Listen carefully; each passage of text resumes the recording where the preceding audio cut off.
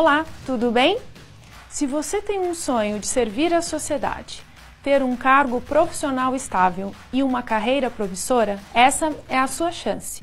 A Polícia Militar do Estado de São Paulo abriu concurso para 2.700 soldados. São requisitos básicos aos candidatos: ser brasileiro, ter entre 17 e 30 anos, estar em dia com as obrigações eleitorais e militares, ter ensino médio concluído e habilitação para conduzir automóveis. O salário é de R$ 3.164.